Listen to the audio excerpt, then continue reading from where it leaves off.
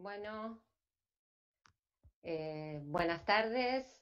Ya hoy con este día entre lluvioso y el invierno acechando, casi noche podríamos decir, a todas, todos y todes quienes nos están acompañando. Eh, desde la Universidad Nacional de José Clemente Paz, ya queremos darles la bienvenida desde hace dos meses que nos estamos encontrando cada 15 días en este ciclo de debates y encuentros sobre las relaciones de género y los desafíos en tiempos de pandemia. Hoy en particular vamos a abordar eh, tres ejes que nos parecen relevantes para el debate y el intercambio actual, que tienen que ver con trabajo, cuidados y políticas públicas. Sabemos que tanto en el Zoom como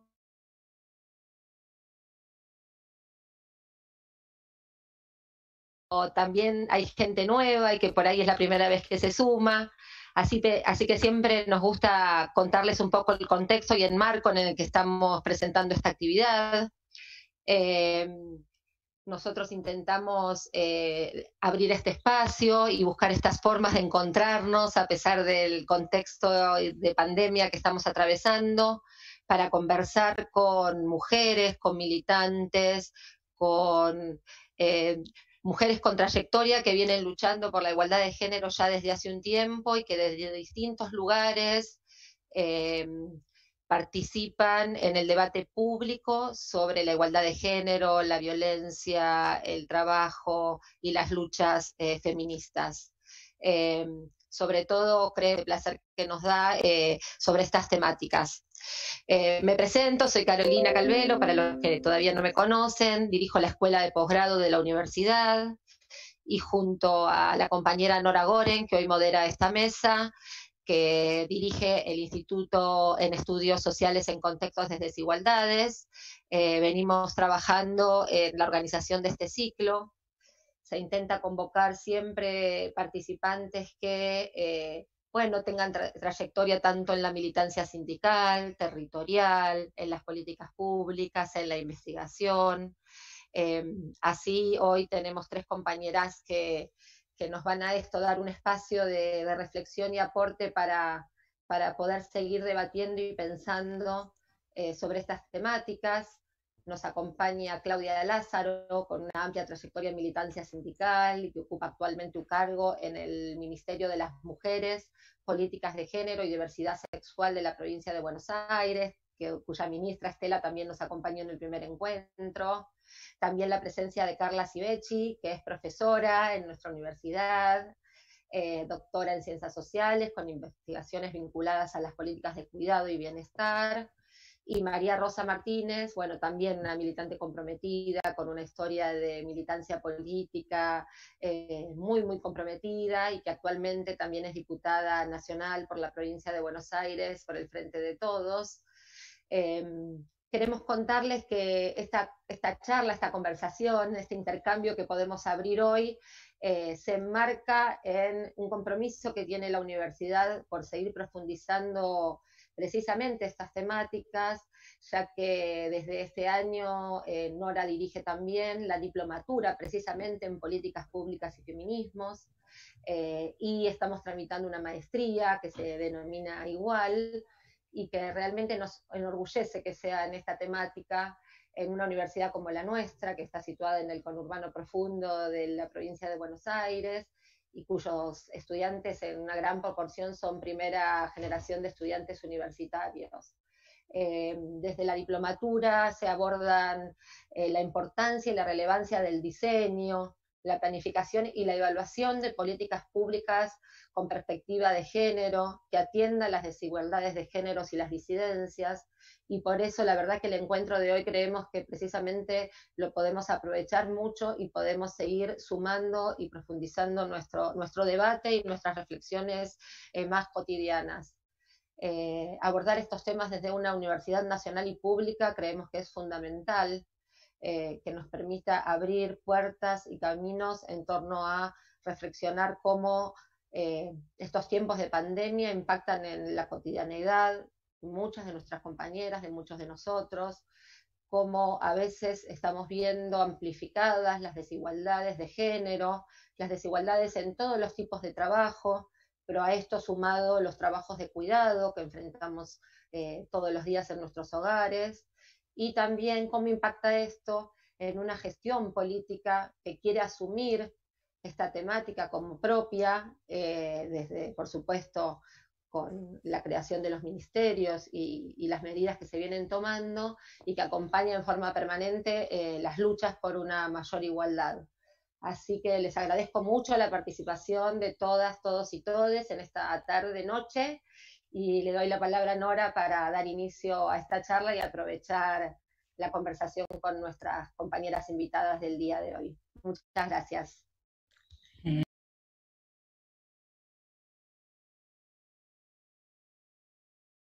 Eh, como recién comentaron, eh, son unas jornadas que tienen como premia porque creemos que se visualizan más y afloran ciertas desigualdades preexistentes que son momentos centrales para ser debatidas en pos de pensar el tránsito hacia otro tipo de relacionamiento.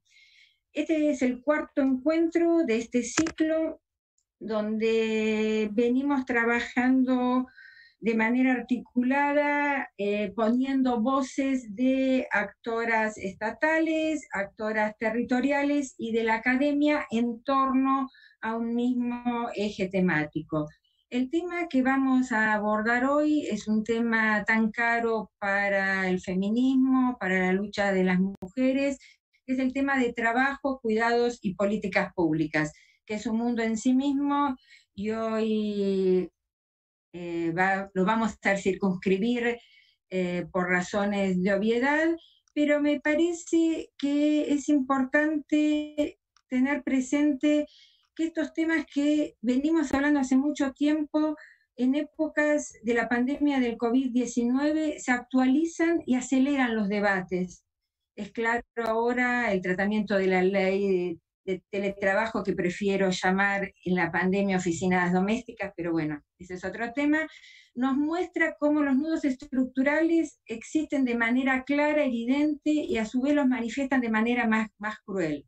Pero también los complejiza, pues pone en evidencia muchas de las raíces desde entramado y los velos desaparecen y nos colocan en el desafío de ponerlos en diálogo con el modelo societal al cual queremos transitar. Y ahí me animo a decir desde la universidad que apostamos a un modelo de mayor distribución, redistribución, teniendo como eje la justicia social.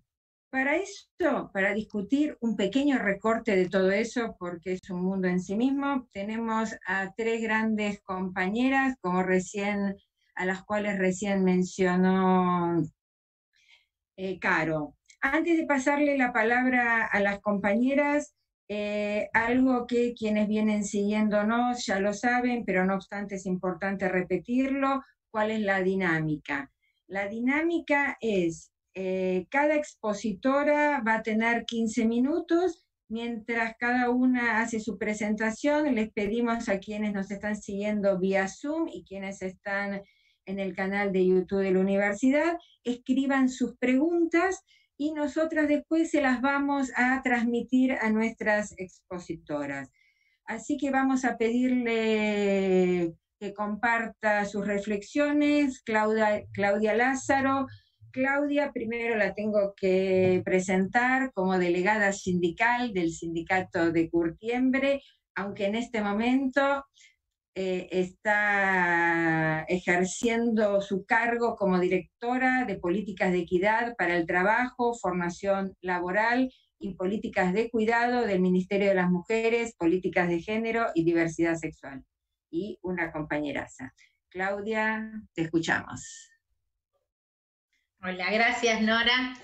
Primero agradecerte a vos, eh, Nora, la, la deferencia de invitarme a esto que para mí es un panel de lujo. Parece como la primera vez que hablé y estaba Dora Barrancos, que yo me sentía chiquitita. Bueno, en este momento también me siento chiquitita porque estar eh, eh, escuchando después a María Rosa y a Carla, para mí es un honor. Digo, uno, como lo digo también con vos, uno con muchas de las que se formó en este trayecto como militante poder compartir diálogos y referencias para mí eh, es un honor como, como militante y es una oportunidad que, que pone ¿no? en esto de cómo el traspasamiento generacional y cómo se apropia uno de los saberes de las compañeras y los va construyendo en el camino.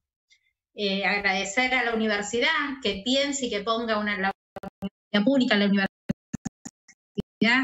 las y los trabajadores, que se ponga a disposición del pueblo, eso también siempre es una cuestión muy interesante y muy propia de quienes venimos de las organizaciones populares, y a Claxo, que también es articulador en, en, este, en estos encuentros. Cuando vi el título es como que pensé en la dirección donde me convocó la ministra Estela Díaz, digo, cómo, cómo va parejado en la dirección, ¿no? La dirección tiene tres eh, ejes de trabajo. Por un lado, la búsqueda de, de, la equidad en el mundo del trabajo, por otro, la formación para el trabajo y como tercer pata, las políticas de cuidado. Cada una va aparejada, digo, y va con, el título de la charla, ¿no? Y pensando en, esta pandemia, yo digo que, la pandemia trajo un valor eh, que estaba dormido, eh, que algunas eh, lo, lo, practicamos, pero que quizás estaba puesto fuera de moda, que es la solidaridad, y me parece que el enfoque desde, desde la solidaridad que, que, se le da al cuidarse también es muy, muy importante y ponerlo en valor y en juego también dentro de lo que son nuestras prácticas. Pensar eh, cuando nosotros empezamos a soñar el, el, 10 de, diciembre a concretar, pero mucho antes también empezamos a soñar estos ministerios que vienen de las construcciones también que nos dimos las mujeres y las disidencias en, en las calles con distintas luchas, uno cuando empezó a planificar y a ver qué, podía, cómo podía empezar todo eso que venía articulando con los años con distintos sectores, cómo tenía que ponerlo en un papel. En el medio, después de, un, gran, para mí, hecho político que fue eh, que, sea el Ministerio de las Mujeres de la provincia de Buenos Aires quien realice un gran encuentro de las mujeres trabajadoras en, en la plaza el mismo 8, con comisiones de discusión, con toda una, una, participación. Eso me parece que tiene que ver cómo pensamos nosotros el ministerio, un ministerio militante, con construcción con la sociedad en su conjunto, sea sociedad civil, comunidad organizada o sindicatos dentro de la comunidad organizada. Y obviamente la academia. Cuando nosotros veníamos, digo, el, ministerio lo primero que hizo fue eh, reglamentar la ley de violencia de género provincial que venía dormida, hace este, esta construcción del acto y a la semana eh, lo primero que nos pasa con esta pandemia es decir dónde estamos parados y como a todos nos agarró de la misma manera, entonces no es el mismo ministerio que nosotros pensamos eh, cuando empezamos a analizar los programas que el ministerio que hoy estamos construyendo porque claramente hubo una necesidad de ponerse al servicio de la emergencia y dentro de la emergencia tener un foco muy fuerte dentro de lo que es eh, convivir con los violentos en este contexto de eh, pandemia. Pero también el mundo del trabajo tuvo eh, su cimbronazo, ¿no? Esto que todos hoy le llaman estamos teletrabajando, que es una modalidad de trabajo que no es eh, lo que están haciendo todos y acá yo necesito como seguir fomentando esto de que eh, una cosa es teletrabajar, otra cosa es el trabajo a distancia y otra cosa es la, educación a distancia. Son tres modalidades distintas que me parece que hay que encuadrarlas y que es absolutamente necesario porque en este contexto de excepcionalidad del trabajo y cómo estamos trabajando, los únicos héroes y las únicas héroas en, este contexto son las laburantes que vienen sosteniendo el Estado y también al sector privado en este contexto, adaptando su modalidad de trabajo a este contexto. Para mí, el teletrabajo, así como había en, su momento un 8% de la población, digo, hay convenios internacionales donde ya hablaban del trabajo a distancia, luego hubo un proyecto dentro del Ministerio de Trabajo en la época del ministro Tomada, donde también se habló de teletrabajo, hay solo un 8% de la población que estaba teletrabajando,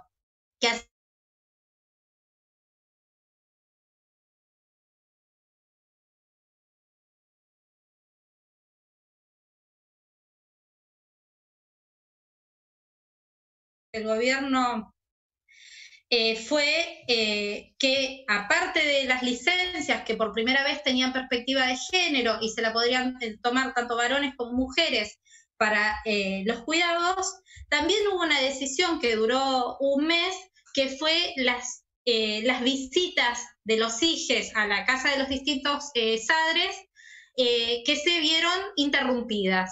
Ahí la dirección hizo un informe de cómo iba llevando adelante el teletrabajo, eh, las mujeres y las disidencias, y cómo iba eso afectando en las tareas de cuidado. Hicimos un informe de incidencia y la primera cuestión que logramos fue cambiar esa modificación y cambiar que no solo el centro de vida era el de los cuidados en función de dónde vivía la mamá, eso era porque para nosotras la, esa, esa resolución que se tomó también lo que hacía es volver a poner en un rol de cuidados que tenemos culturalmente las mujeres. Entonces era muy necesario, y me acuerdo que con, con Estela y con las distintas directoras veníamos hablando del tema y, pudimos consolidar un informe que luego fue la modificación de la resolución eh,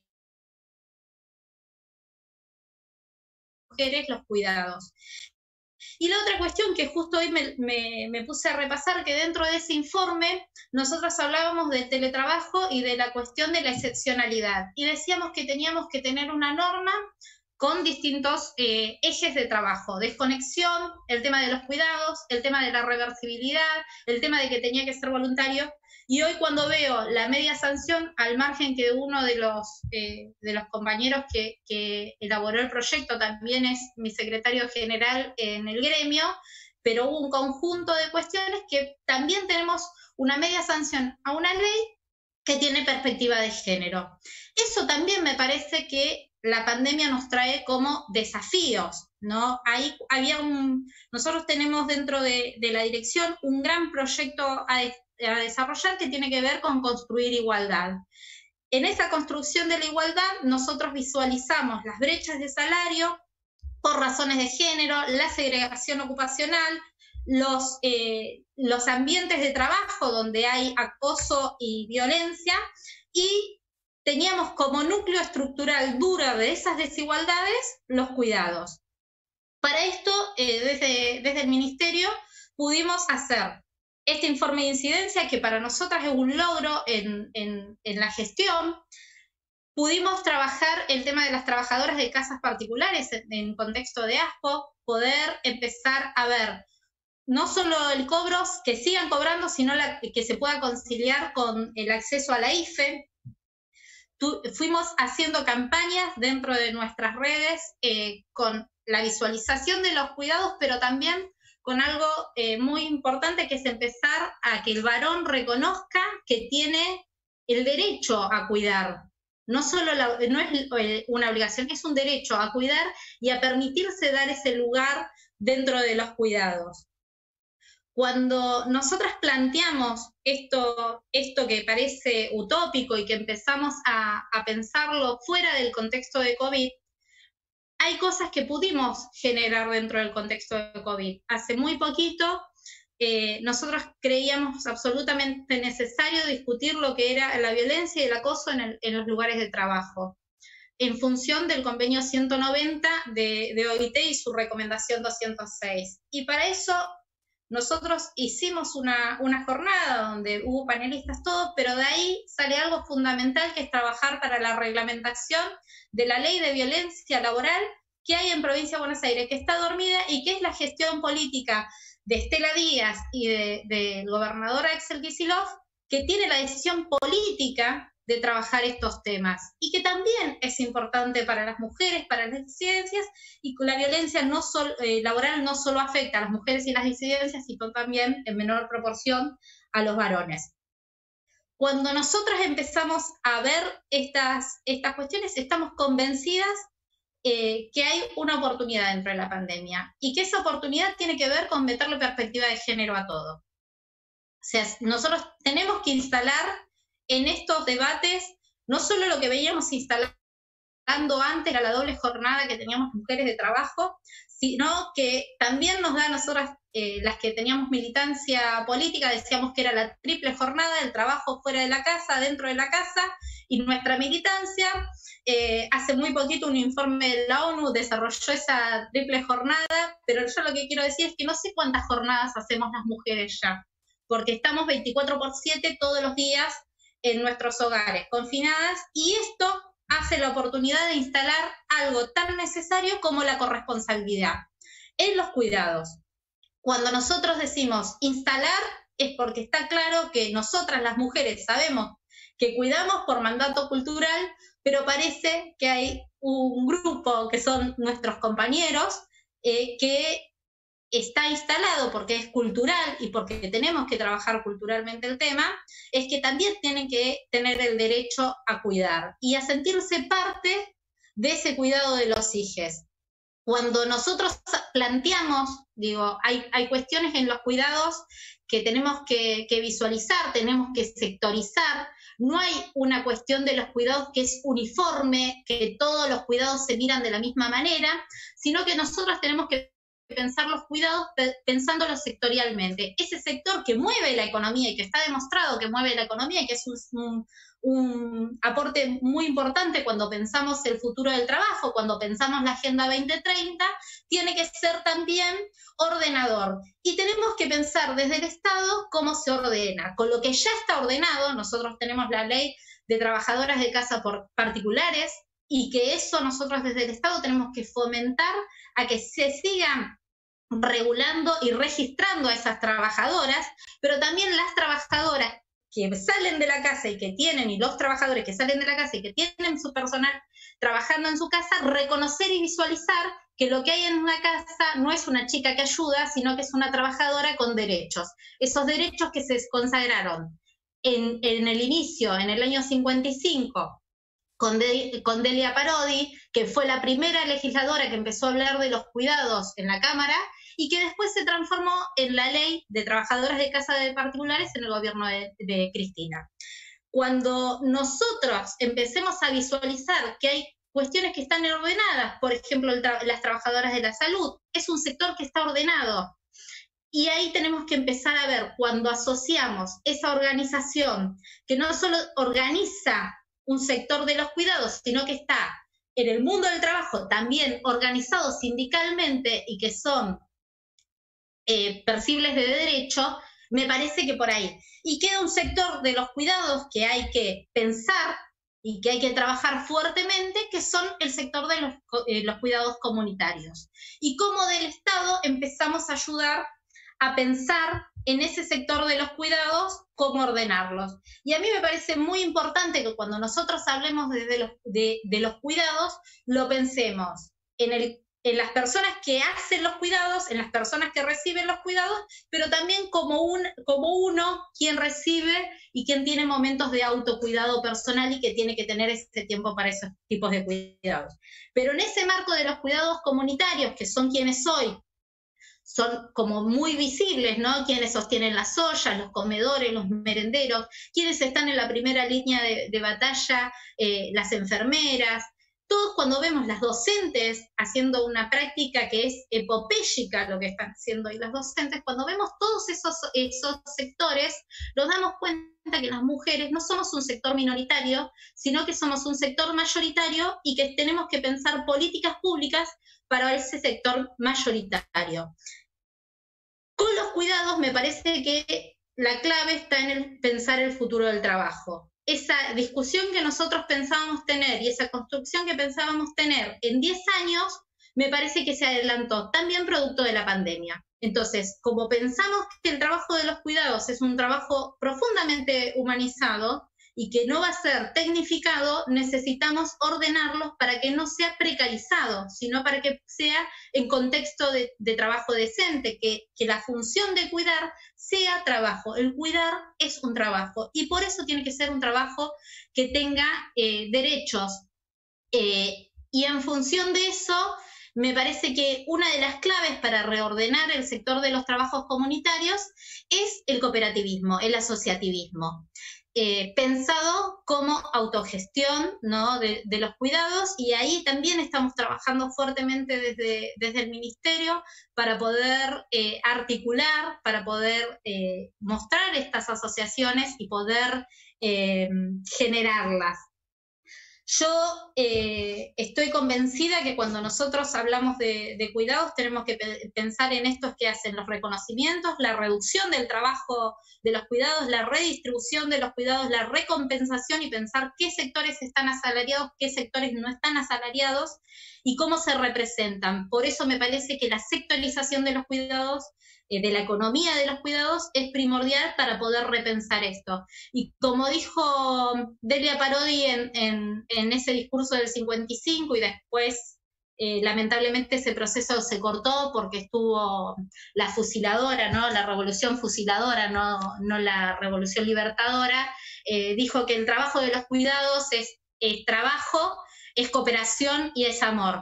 Entonces, con esas tres cosas que nosotras creemos como, como trabajadoras, como militantes eh, sindicales, políticas, creemos que eh, pensar los cuidados tiene que ver también con, estos tres ejes. Trabajo, cooperación y amor. Porque no es amor lo que hacemos, pero muchas veces es amor y trabajo. Eh, por eso también me parece que construir el camino hacia la igualdad es absolutamente necesario y en función de lo que a nosotras nos dice eh, no solo el gobernador, sino nuestra ministra, necesitamos generar esas políticas públicas que puedan pensar en, ordenar los distintos sectores, pero también en pensar cómo van a ser esas compensaciones. Y solo para terminar, y porque lo dejé como el eje lo puse mucho en los cuidados, pero sí es necesario también que trabajemos eh, y para eso en breve vamos a estar lanzando uno de los programas eh, sobre la reducción de brechas de salario y la segregación ocupacional. Creemos absolutamente necesario poder trabajar en oficios que no estén solo masculinizados, sino que rompamos ese sesgo de género que tienen algunos oficios, algunas carreras. Yo que vengo del sector industrial, eh, sabemos que es absolutamente necesario armar diálogos tripartitos también para poder romper la desmasculinización en el sector de la industria y eh, en la formación de esos oficios para el trabajo, también pensar eh, en colaborar con, con las compañeras para que se animen a hacer, y hay muchas que son electricistas, plomeras, constructoras, eh, pero fomentarlo, porque eso también, como nosotros pensemos el trabajo, va a hacer que se puedan salir muchas mujeres del circuito vicioso de las violencias, que muchas veces tiene que ver con no salir de ellas porque falta la pata y la generación de, la, autonomía económica y en eso también es una de las claves que está pensando este Ministerio de las Mujeres de la provincia de Buenos Aires, eh, que bueno, que sin más ni, menos, quien lo conduce es una mujer que viene del movimiento obrero, por eso me parece que haber pensado una dirección de estas características en el, en el ministerio no es un tema menor, sino es entender que las mujeres para ir camino para la igualdad, para la equidad y la justicia social, necesitamos que todo tenga una lente generosa que y que por sobre todo se pueda meter en la política pública la perspectiva de género. Así que yo me, me quedo acá, les agradezco un montón y estoy a disposición. Muchísimas, muchísimas gracias, Claudia. Un lujo escucharte. Y antes de pasarle la palabra a María Rosa, simplemente rescatar el énfasis que colocabas en la sectorización de los cuidados en términos de que eso implica pensar los distintos sectores de actividad desde una mirada del, trabajo, cómo articularlos y pensar el cuidado, ¿no? O sea, me parece que ahí hay todo un nudo a desarrollar, quizás yo me quedé con un montón de preguntas en esa línea que quería rescatar antes de pasarle la palabra a María Rosa.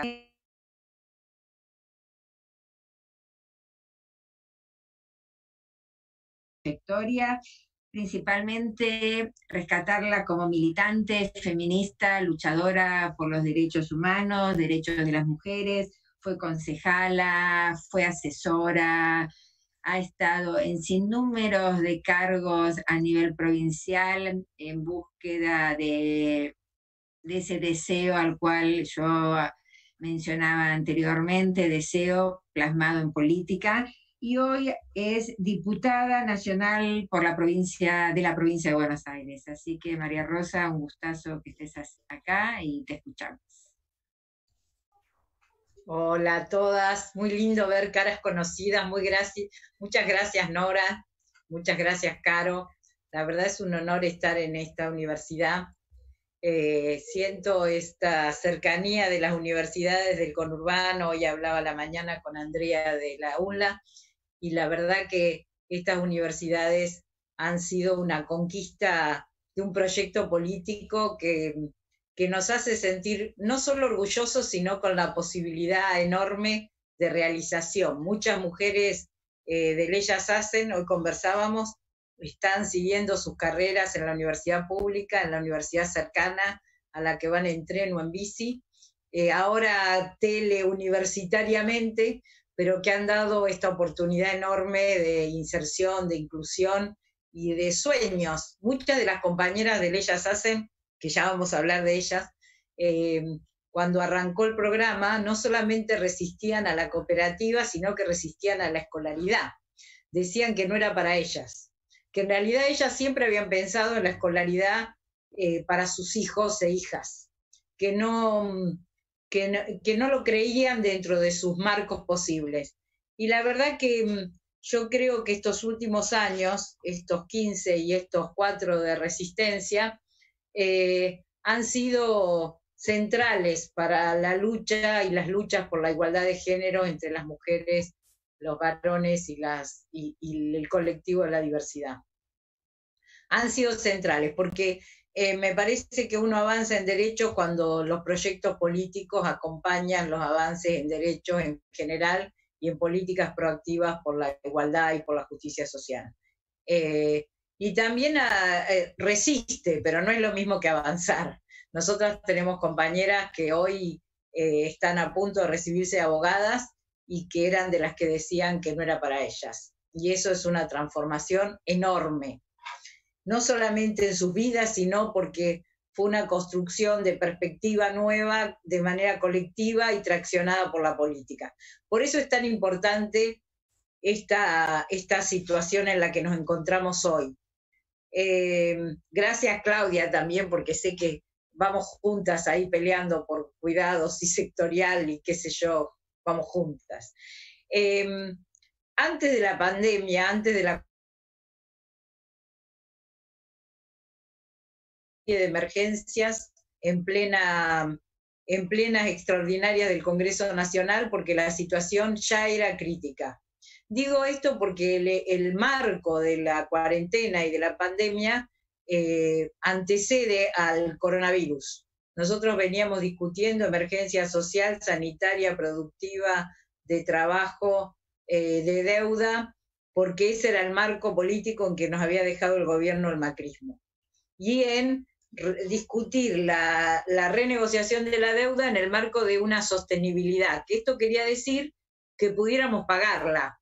Por eso hablábamos de eh, tramos eh, donde no pagáramos y de disminución de capital y de intereses. Eh, en el medio de esta discusión aparece la pandemia, en el medio de este debate, con una acción muy proactiva del Congreso, pero también con, una, con un nuevo escenario. Yo creo que el marco de los ministerios de las mujeres a nivel nacional y de la diversidad y en la provincia de Buenos Aires eh, todas nosotras lo sentíamos, lo vivíamos como un éxito o como, un punto, eh, no de llegada ni de fin, pero como un punto en el camino de conquista de derechos de las mujeres y de la diversidad. Porque eran ministerios desde abajo. Eh, hace unos años, cuando pensábamos en el 50 y 50 y discutíamos esto para las cámaras legislativas, era como un sueño medio inalcanzable. Cada encuentro de mujeres que hacíamos decíamos, bueno, pero ahora vamos por el 50 y 50 y siempre nos parecía lejos. Eh, sin embargo, acá estamos con el 50 y 50, acá estamos con los ministerios de las mujeres y estamos con una crisis económica, eh, social enorme y de salud enorme, que gracias a nuestro pueblo y a nosotros mismos votamos un gobierno que eh, tomó las decisiones que había que tomar. Definir rápidamente la cuarentena no es una cuestión eh, solo de consejos médicos, sino que era una cuestión de realidad económica y de realidad de salud. Piensen que no teníamos Ministerio de Salud hasta que asumimos como gobierno. Además, nosotros que vivimos en el conurbano sur, muchas de nosotras, sabemos que no teníamos ni hospitales en condiciones, ni lugares de aislamiento, ni profesionales en los centros de salud, o sea que en los primeros meses hubo que hacer todo. Digo esto para, para instalarnos en qué hacíamos las mujeres en, esta, en este momento, en estos momentos. Muchas de las compañeras de las mujeres de sectores populares, porque cuando hablamos de feminismos, hablamos de feminismos en plural, eh, ya venían sosteniendo comedores, merenderos, jardines maternales comunitarios. Los jardines maternales comunitarios distan de la hiperinflación del 87-89. Allí se organizaron los primeros espacios de cuidado de niños cuando las mujeres tuvieron la oportunidad de salir a trabajar y los varones perdían el trabajo. En cada crisis post-dictadura, las mujeres hemos tenido un rol central en la organización de la vida, del trabajo y de la, no solamente de la reproducción, sino de la producción. Yo creo que esto es muy importante remarcarlo porque además en los momentos, en determinados momentos hubo hitos de organización política y comunitaria de las mujeres. ¿Qué sé yo? Las manzaneras de los primeros años del gobierno de la provincia de Buenos Aires. Yo me acuerdo las emprendedoras del gobierno de Cafiero adentro de las cárceles. Eh, había habido una política de generar trabajo y que las mujeres pudieran salir a vender una vez al mes lo que producían en la cárcel. El espíritu laboral de las mujeres es eh, es histórico. O sea, las mujeres nacemos con un mandato patriarcal que es que tenemos que cuidar, que tenemos que cuidar, cocinar, eh, cuidar a los chicos, cuidar a los viejos si nos toca. Eh, en los barrios se ve mucho como las chicas salen mucho menos a la calle que los varones o no juegan nunca en el, en el campito porque están dedicadas al cuidado de hermanos. O sea que nacemos con un mandato muy fuerte en este sentido. Y en la pandemia, que es el, tema que ustedes están como poniendo en primer plano, lo que aparece fuertemente es eh, la, desaparecen muchos delitos, ¿vieron? Hay menos robos, hay menos tráfico, se vende menos falopa, qué sé yo, pero lo que no desaparece es la violencia contra las mujeres. Al contrario, se agudiza. Y los feminicidios sostienen su, su porcentaje al mismo tiempo que avanzan las, las denuncias de violencia psicológica, violencia, no solamente de violencia física, sino psicológica ampliamente, y, también de violencia física. ¿Qué pasa aquí cuando, cuando esto empieza a tallar tan fuerte y teniendo estructuras políticas destinadas a promover no solo la igualdad entre los géneros, sino a prevenir las violencias y actuar frente a las violencias. ¿Qué vemos nosotros en los territorios? Las que están ahí cerca, las que pueden ayudar a que una mujer no solamente sostenga su convivencia, sino que decida no seguir en la casa.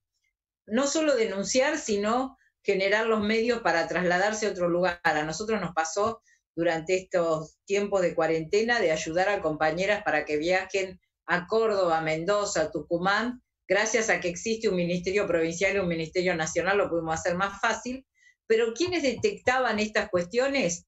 Las compañeras que se habían formado como acompañantes, como acompañantes de víctimas, que es una figura que existe en la ley, en la ley 26488, no, nunca me sale bien, 485, eh, existe como figura, nosotros nos dedicamos fuertemente a la formación, a la formación no solamente a nivel comunitario, sino también con el Instituto de la Corte de la Provincia de Buenos Aires, con, con la Procuraduría Nacional, para, para poder garantizar que las compañeras pudieran acercarse a la víctima con la mayor cantidad de recursos posibles. Hicimos mapas de la comunidad para saber qué recursos locales había, qué recursos provinciales, qué recursos jurídicos, qué recursos en la policía, pero lo central en la pandemia, lo que vimos fuertemente fue que la primera ayuda, el primer consejo, lo daba la cercanía. Lo daba la cercanía de esas compañeras que habíamos podido transitar, muchas de ellas venían de Leyes Hacen, habían sido eh, víctimas de violencia. Muchas de ellas habían salido adelante hasta en situaciones, miren, tenemos un caso en que la cooperativa entera terminó de hacer una casa para que una víctima se fuera a otro lugar. Era una chica muy joven, de veintipico de años, con cuatro hijos, que cada vez que venía la cooperativa venía con un golpe nuevo, de, un, de una pareja con muchos problemas de adicciones y de violencia, y la cooperativa decidió que no podía estar más así. Y en la casa de un cooperativista que vivía solo, se construyó una cocina, una habitación y se pudo resolver. Temporariamente, porque después ella encontró casa propia y, y esa compañera que había sido prácticamente una de las que no nos dejaba dormir con su problema, significó para ese grupo una posibilidad ella misma de traccionar junto con la colaboración de sus compañeros, una transformación total en su vida y en la de sus hijos. Sus hijos eh, tenían problemas muy serios, hasta había uno muy chiquito que no hablaba y comenzó a hablar. Y tal vez eh, en esa muestra de cómo se puede salir adelante de manera cercana y de manera amorosa y con mucha dificultad económica, empezamos a pensar que muchas de las acompañantes a víctimas tenían que ser esas mismas mujeres, que habían transitado y sobre todo que tenían claro que había que sostener la subjetividad del otro, que no era cuestión de tomar decisiones por el otro. Ustedes vieron que en los temas de violencia hay como una tentación a decir lo que tenés que hacer, que es lo que en general el violento hace con la víctima, decide lo que tiene que hacer. Bueno, estas compañeras sabían que había tiempos, que había avances y retrocesos, que no era una cuestión lineal, que uno le dice a alguien lo que tiene que hacer y lo hace, que además hay relaciones complejas donde también en algún momento del trayecto hubo afecto y, que esa complejidad hay que poder transitarla. Bueno, esas son nuestras acompañantes, esas son estas compañeras que divididas en grupo, trabajando territorialmente en siete lugares, pudieron eh, ser puntales a la hora no solamente de, prevenir, sino también de resolver. Y nosotras decidimos eh, con el equipo, acá la veo a Luciana, eh, y con Julia, que había que tomar un aspecto de la ley, de la 26485, y ese artículo era un artículo, el 10, el inciso 4, y convertirlo en un eh, trabajo remunerado. ¿Por qué dijimos esto? Porque el trabajo comunitario, cuando se desarrolla con calificación, cuando hay un proceso de formación y hay una acción sistemática y hay cumplimiento horario, es trabajo a remunerar. Eh, nosotros durante la campaña para ganar las elecciones, cada vez que Alberto decía que que teníamos que poner a la Argentina de pie y generar trabajo, decíamos, tenemos 800.000 mujeres que ya trabajan y que hacen trabajo no remunerado. Y nos lo decíamos a nosotras mismas porque estamos convencidas de que esto es así. Bueno, hicimos el proyecto de, de modificación de la ley para pedir la reglamentación, para que los acompañantes sean, eh, una vez instalado un sistema de acreditación de su formación, porque también nos decían las compañeras, bueno, pero hay que hacer formación. Y las que hace tres años que hicieron la formación y realizan la tarea, no habrá que acreditar, no habrá que reconocer formación. Una cosa es hacer cuatro módulos y tener un pantallazo. Otra cosa es hacer tres años de formación, tener una práctica sistemática, tener una relación dentro de... Y, y, volver a hacer formación, porque ese es un vicio que tenemos, sobre todo los que trabajamos en la comunidad, porque muchas veces es el recurso que tenemos para fortalecer la organización.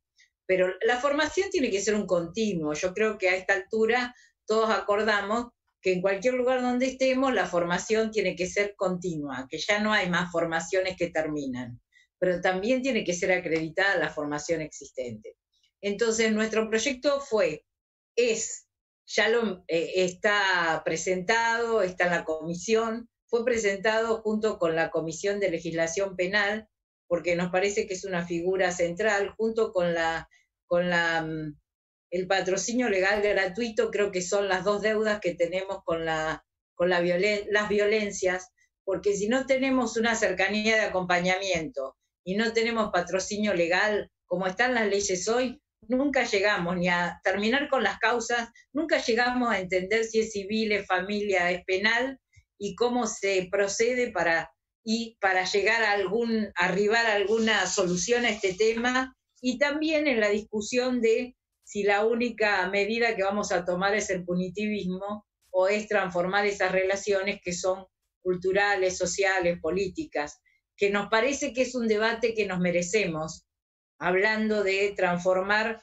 eh, la relación de trabajos de amor en trabajos remunerados, porque creemos que ahí hay, hay una desigualdad tan fuerte que el patriarcado de alguna manera afianza, que si nosotros no logramos la autonomía económica de las mujeres, no salimos de este piso pegajoso y el techo de cristal, no salimos de ser las que vamos y venimos del trabajo de acuerdo a la cantidad de hijos que tenemos, no vamos a poder lograr que esa relación que estamos queriendo transformar sea una relación de igualdad. Eh, yo creo que, que tenemos que trabajar intensamente por reconocer los cuidados insisto, con, Claudia tenemos mucha afinidad en pensar que tienen que ser sectoriales. Cuando pensamos, por ejemplo, en el cuidado de ancianos, durante muchos años en, en, el Ministerio de Desarrollo Social de la Nación, en los gobiernos de Néstor y Cristina, se formaron cuidadores domiciliarios con la UBA. Con la UBA y con algunas universidades de, del conurbano también en estos últimos años. Esas cuidadoras domiciliarias eh, cuando trabajan de manera particular y esporádica, en general trabajan sin ningún resguardo de derecho. No, no tienen aportes, no tienen obra social, trabajan a destajo. Cuando pasa algo con, ese, con esa persona que cuida, se quedan como si empezaran de cero cada vez. Eh, ese trabajo no amerita ser regulado y reconocido dentro de un convenio colectivo, como es el convenio de los trabajadores de la salud, por ejemplo, cuando se trata de anciano enfermo. No debería ser reconocido dentro de ese convenio y discutido y, no formar parte de un... Y además, si fuera cooperativo, también debería ser reconocido en el debate del convenio colectivo de ese sindicato. Nosotras eh, qué sé yo, yo creo que por la, larga vida, en el 2001, cuando se armaban las cooperativas de las empresas que cerraban y que se vuelven a armar ahora, ayer tuvimos una reunión con cooperativistas de una recuperada eh, de Villa Crespo, lo que pasa allí es que muchas veces los sindicatos no se hicieron cargo de esos trabajadores. Eh, yo la veo a Claudia y Curtidores tiene cooperativas, Gráficos tiene cooperativas, pero hay sindicatos que dijeron las cooperativas no son, no son los trabajadores que, nos, que nosotros vamos a defender orgánicamente. Bueno, hoy yo creo que el trabajo de cuidados, que sin duda es sectorial, no es lo mismo todo, tiene que ser una pelea por sector laboral, tiene que ser una pelea de convenio colectivo, y el trabajo comunitario también tiene que ser una pelea En el trabajo comunitario yo recuerdo haber discutido en su momento con el gremio de los docentes por las educadoras comunitarias de los jardines maternales y, tener ahí una fuerte resistencia y en el, en el gremio que estaba en la matanza, el jardín maternal lo atendían educadoras comunitarias, no docentes. Entonces, me parece que también tenemos que transparentar estos debates, porque no es que una educadora comunitaria le va a disputar el trabajo a una docente. En general, una educadora comunitaria es miembro de una comunidad muy pobre, en general vive en el mismo barrio donde se desarrolla su tarea, se forma para realizar la tarea y atiende niños entre 45 días y 3 años que hoy el sistema público formal no los atiende. Yo creo que la pospandemia nos va a dejar como saldo una posibilidad enorme de rediscutir, redistribuir trabajo, recursos y pensar en que la, la posibilidad de la igualdad entre los géneros, hoy estuvimos discutiendo y venimos discutiendo desde hace varias semanas en la Comisión de Género y Diversidad de la Cámara, que es una comisión que votamos en plenas extraordinarias. Fue un proyecto de Mayra Mendoza que entró en extraordinarias en febrero y lo aprobamos. Lleva nada más que seis meses y creo que es una de las comisiones no solo más dinámicas, sino de las que, mm, y, esto será producto del análisis de investigación, de esas comisiones que interactúan con legislación penal, con trabajo, con, con otras comisiones pensando en que el debate de la perspectiva de género es transversal, intersectorial, interseccional. Em, hemos incorporado por primera vez en, una ley los cuidados, como decía Claudia, en la ley de teletrabajo, y no crean que fue fácil. Es más, si leemos los artículos periodísticos de esta semana, hubo coincidencia plena en que poner cuidados en la ley iba a desalentar la posibilidad de teletrabajo. O sea, lo ponían como si fuera una valla frente a la posibilidad del teletrabajo.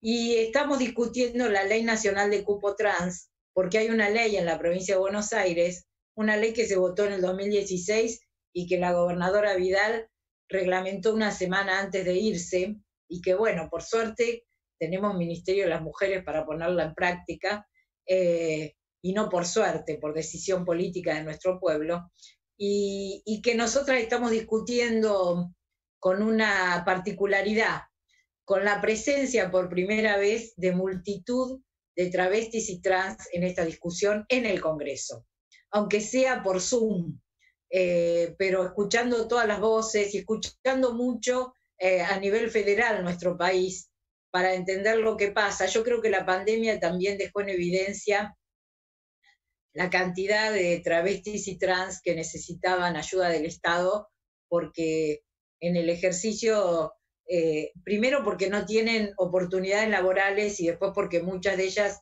ejercían la prostitución, que en la cuarentena se vio imposibilitada y hubo que generar política pública eh, de emergencia. Por eso hay que pensar en cómo este cupo trans se transforma en trabajo decente, como decía Claudia. Este cupo trans no es solo pensando en el sector público, sino también en el sector privado. Y cuando pensamos en el sector privado, ahí se puede trabajar también el tema de incentivos fiscales. Ustedes vieron que, los, que, que muchas veces las decisiones están atadas a los temas económicos. Entonces, bueno, si promovemos, eh, si hay incentivos, es probable que haya más oportunidades laborales para las compañeras y compañeros de la diversidad. Pero digo, en este camino de post-pandemia, me parece que tenemos que seguir avanzando.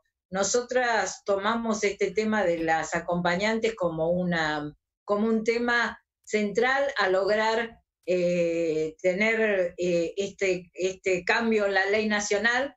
Pensamos en que no, no queríamos inventar una ley, queríamos basarnos en los 10 años de esta ley y en mejorarla, eh, seguramente va a haber que hacer algunos cambios. La ley habla de mujeres todo el tiempo eh, y hay que ampliar ese concepto a la diversidad, pero me parece que, que estamos en camino y que lo fundamental es que es desde abajo y con mucha convicción.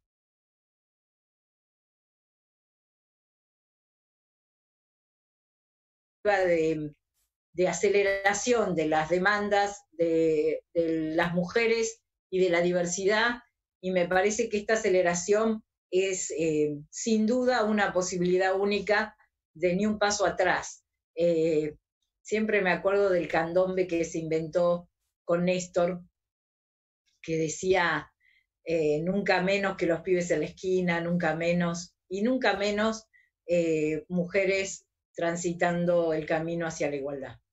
Gracias.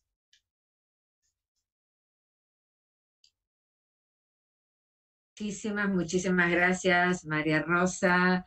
Un gustazo escucharte. Creo que María Rosa nos trae eh, la, la idea y la organización que hay, el trabajo comunitario eh, de las mujeres organizadas, eh, de las respuestas que dan, y se linkea con lo que planteó antes Claudia en términos de una valorización de, la, de las tareas en términos de valorización en reconocimiento, en términos de capacidades y competencias, que son las formas en que mide el mercado de trabajo para poder sumarlo a la lógica de los convenios colectivos de trabajo, de la lógica del sindicalismo, en donde hay puntos en común que me parece sumamente interesante pensarlo, debatirlos, porque no son dos eh, trayectos o dos reconocimientos por espacios diferentes. Digo esto porque muchas veces se miran y no se encuentran como puntos en común.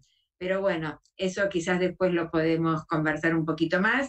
Y antes de pasarle la palabra a Carla, em, eh, les recuerdo que cualquier pregunta, consulta, pueden hacer sus, eh, colocarlas en el chat. Bueno, por último voy a presentar a Carla, Carla Sivechi, a quien quiero mucho. Eh, y lo te voy a decir, en realidad cuando yo empecé a ser ayudante en la Universidad de Buenos Aires, Carla fue una de mis primeras, eh, era estudiante en esa corte eh, y era brillante, era la estudiante que sobresalía, la verdad.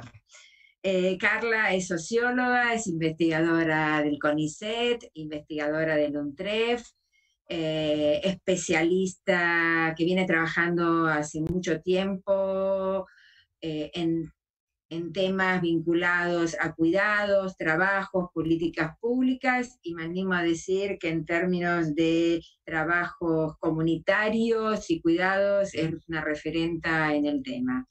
Así que Carla, te escuchamos. Bueno, muchísimas gracias Nora, como siempre agradeciendo los recuerdos de aquellas épocas, eh, hace muchos años. Y mm, bueno, quería agradecer también al espacio de LOMPAFS de posgrado por generar esta, esta iniciativa, este ciclo de conversaciones eh, y de debates, y a Claxo también por poder articular y difundir estos espacios. Y mm, un placer compartir este lugar con Claudia y con María Rosa, a quien pude escuchar atentamente. Bueno, un poco eh, mi idea era plantear algunas cuestiones sobre el tema de los cuidados comunitarios, que me parece que son un terreno interesante para pensar distintos aspectos. Eh, tal vez por un poco la línea convocante es pensar los desafíos en materia de política pública eh, en este escenario de, pandemia y de pospandemia. Eh, bueno, algunas cuestiones ya fueron deslizándose, tanto en la intervención de Claudia como en la de María Rosa. Eh, donde se planteaba el tema del el protagonismo creciente que están teniendo los cuidados comunitarios, que si bien no están lo suficientemente visibilizados, hace largos años ya que vienen eh, traccionando tareas de cuidado en los distintos territorios.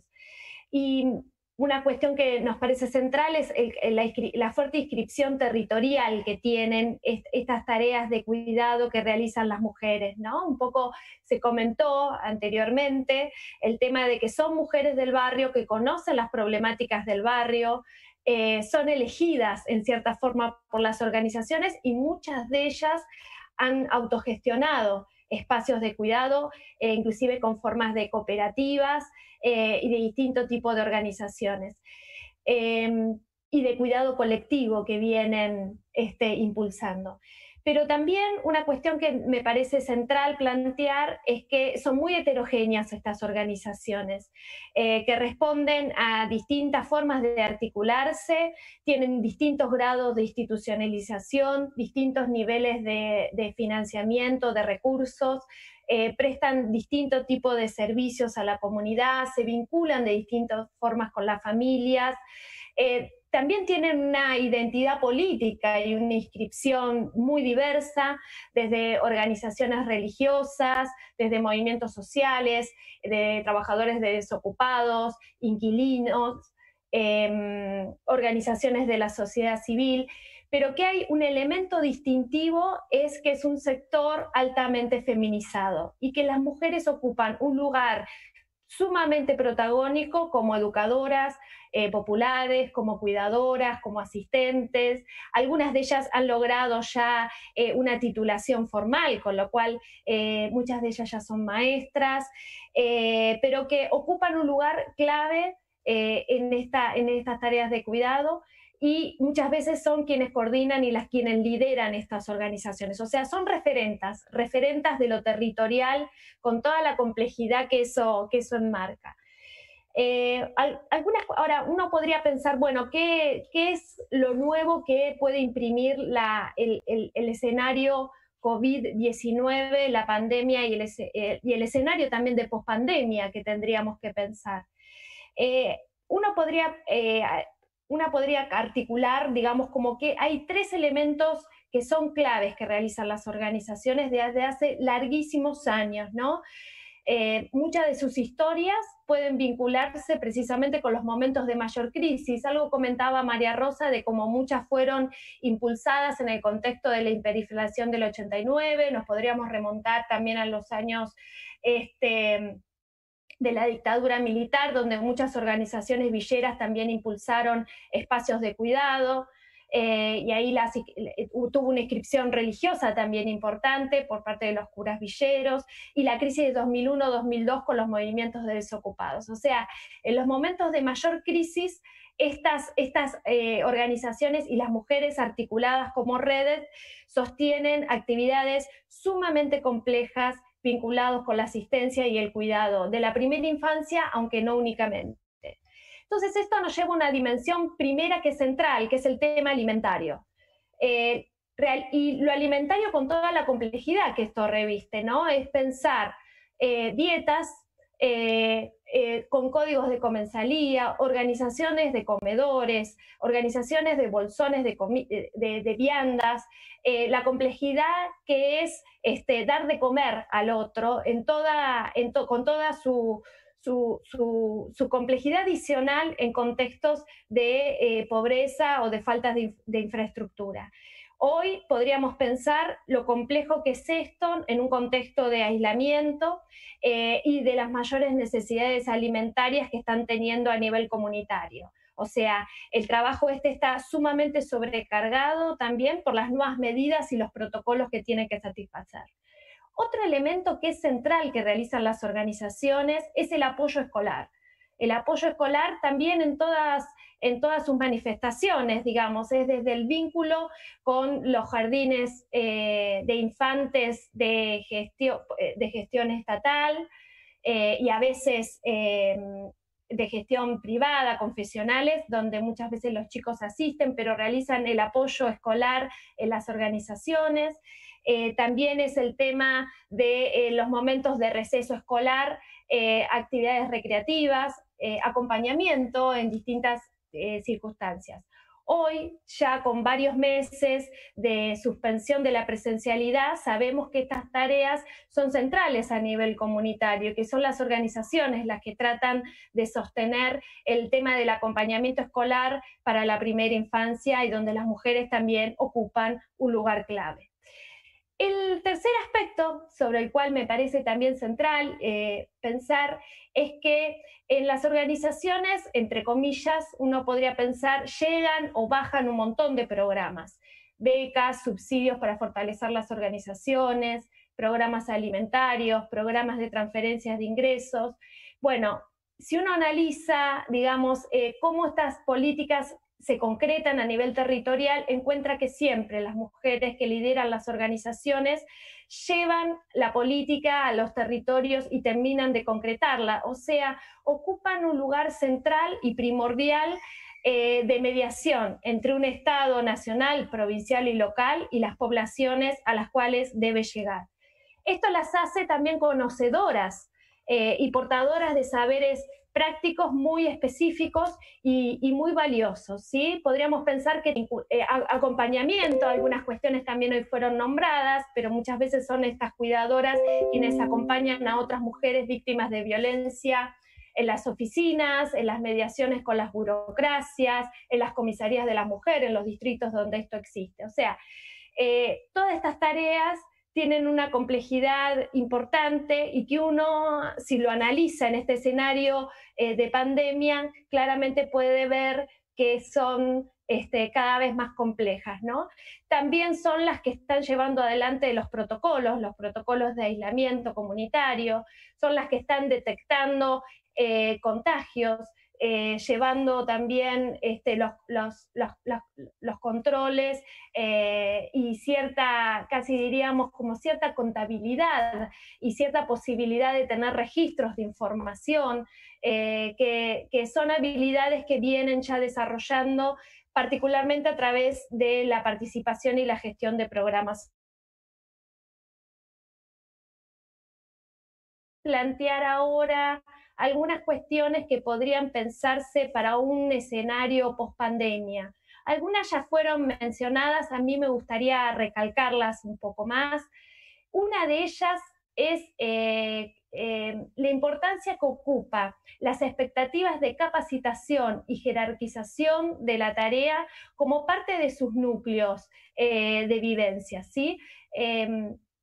Hace, ya algunos años cuando empecé a trabajar con las trayectorias de las mujeres de programas sociales de transferencia de ingresos condicionados, una de las cuestiones que eran claves y que marcaban como un punto de ruptura era poder, a partir del programa, o bien tener una terminalidad educativa o un acceso a un programa, a, un, a una capacitación o a un curso. ¿sí? Estoy hablando de hace muchísimos años, fines de los años 90, eh, o en el escenario de la crisis 2001-2002 con el lanzamiento del plan Jefes y Jefas de Hogar Desocupados.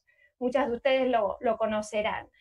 Entonces, eh, es un núcleo central en las vivencias de ellas y en el caso de las eh, cuidadoras de los espacios comunitarios, la posibilidad de este, terminar la educación en el ciclo que haya quedado inconcluso, por el abandono escolar, que es muy típico de, estas, de las trayectorias de estas mujeres, terminar la primaria, terminar la secundaria o a través de algún dispositivo de intervención estatal como fue el FINES, que para muchas de estas mujeres fue una posibilidad, tener una capacitación y algunas de ellas inclusive tener una formación terciaria a través de la, de la oferta eh, importante que tiene la Argentina, que tenemos una tradición de universidades nacionales eh, ya de largos años, a los cuales ahora se han sumado muchas universidades nacionales del conurbano bonaerense y también una tradición sindical de capacitación y de formación en el eje de educación-trabajo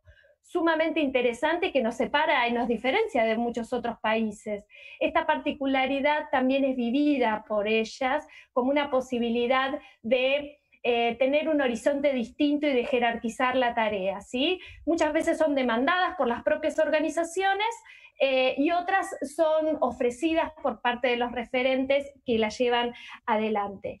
Este aspecto me parece central y me sumo también a la idea de un poco eh, que había planteado María Rosa como dos cuestiones distintas, ¿no? una es la capacitación como una formación continua y permanente que puede darle también una mayor jerarquización y una mayor valorización y reconocimiento social. Y el otro aspecto es cómo acreditar esto, ¿no? Como, como otra, cómo, cómo acreditar estas calificaciones, ¿sí? Eh, otro elemento que, considero que puede ser importante eh, para pensar es el tema de la situación legal de estas trabajadoras y de las organizaciones es un tema sumamente complejo porque se entrecruzan muchas normativas, pero por ejemplo hay cuestiones claves como el reconocimiento de la personería jurídica para muchas organizaciones. Esto les permite a muchas de ellas poder este, lograr eh, importantes aspectos a la hora de tener mayor financiamiento, ¿sí? Eh, o mayores recursos. Y esto también es importante para eh, la calidad de vida y el trabajo que realizan las educadoras y las cuidadoras.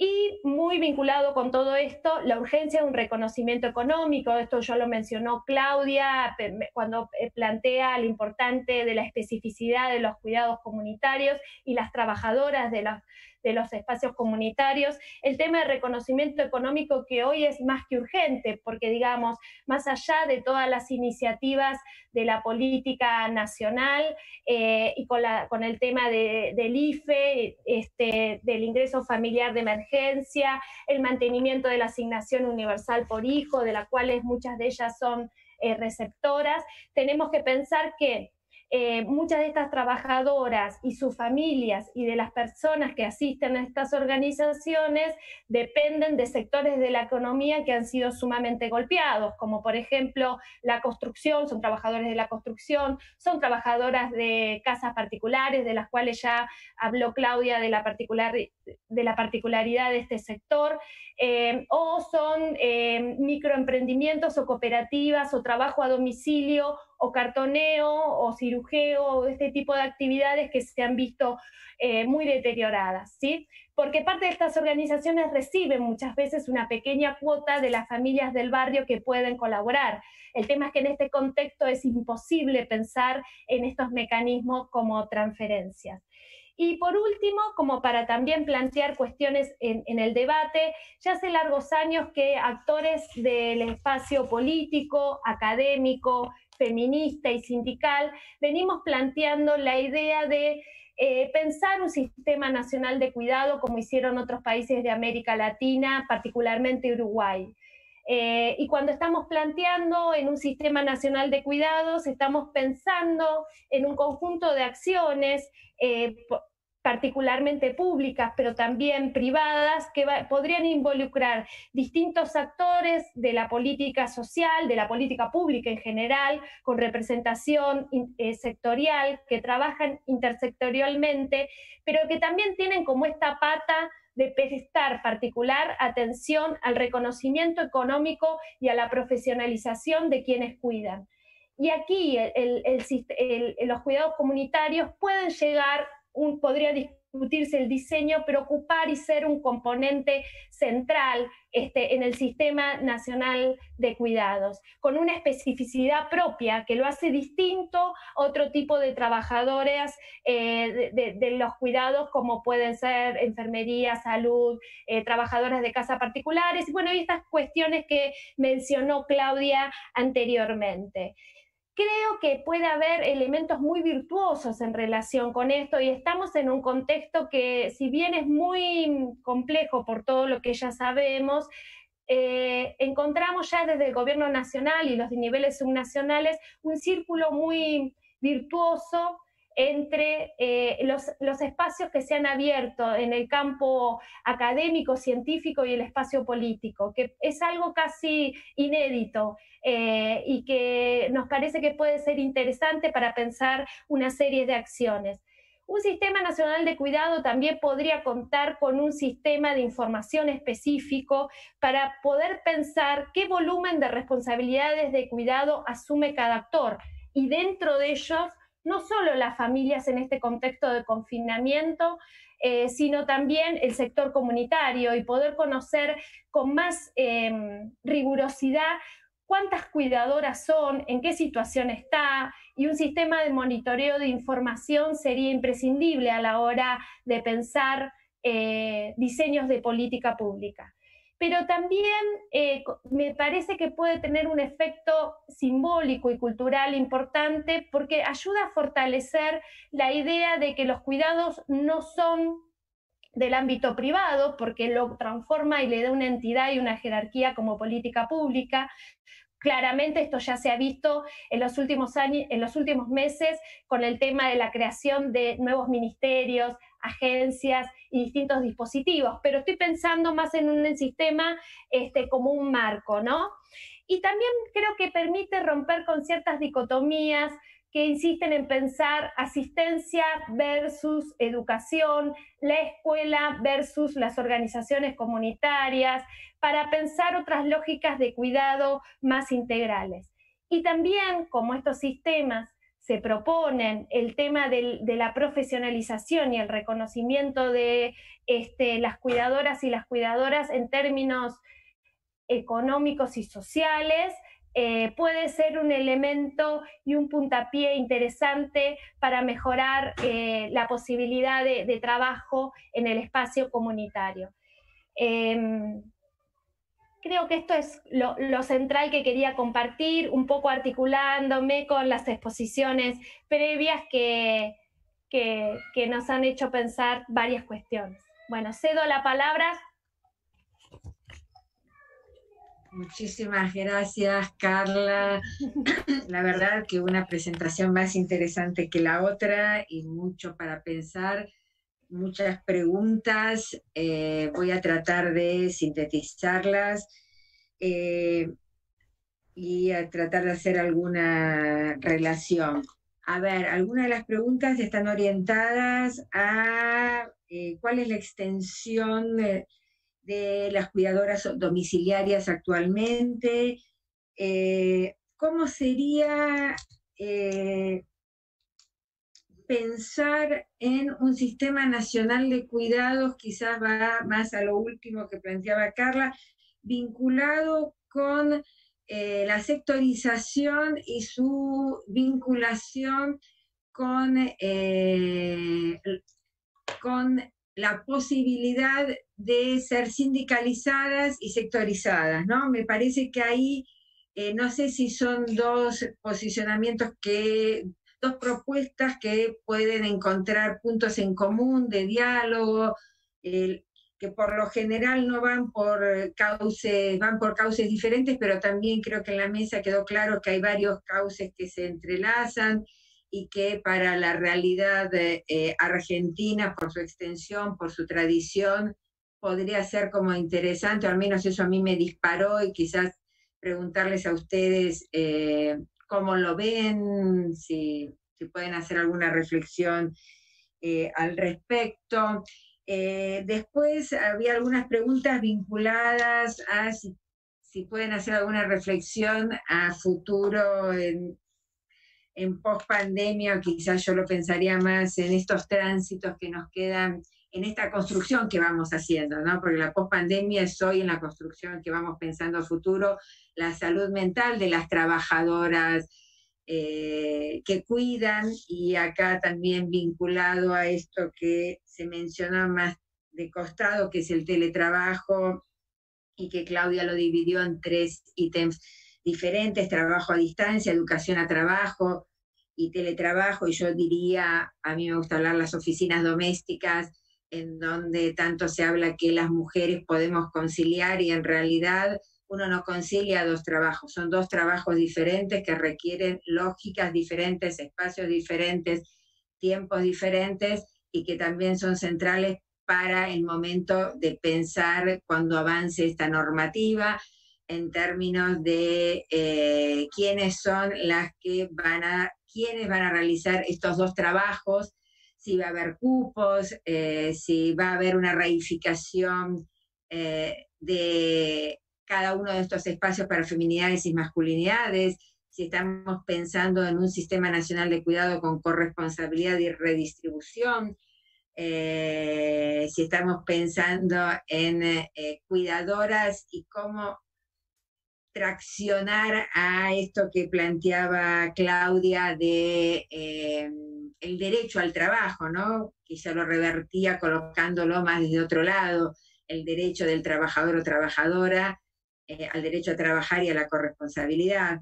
Bueno, por ahí van eh, las preguntas que, que colocaron básicamente en el en la plataforma YouTube y sí quiero antes, eh, hay varias referencias, varios saludos de compañeras de Cuba, de Chile, de Bolivia. Hay una compañera de Cuba que estuvo contando en el chat cómo es el sistema de cuidados eh, allá, que después en todo caso lo, lo compartimos. Así que bueno, hay una cosa y una cuestión más, si conocen el programa Potenciar Trabajo, por dónde viene. Así que bueno, como quieran ir empezando, si quieren ir empezando por el orden que habían comenzado, quieren empezar de otra manera.